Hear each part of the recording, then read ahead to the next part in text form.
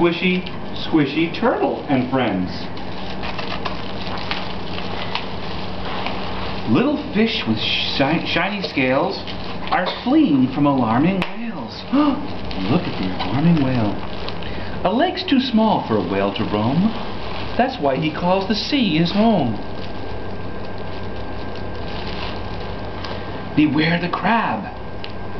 I think he knows just how to pinch your tiny toes. Yes. Gently bobbing up and down is how a seahorse gets around. The octopus looks really great. Instead of two arms, he has eight. The oyster has a gift to hide, a precious pearl. Grows deep inside, look. Pearl. Yeah. Little starfish goes on dancing, even with a shark advancing. Uh-oh. Wow, see the shark? The ocean floor is deep and dark. It's where you'll find this hungry shark.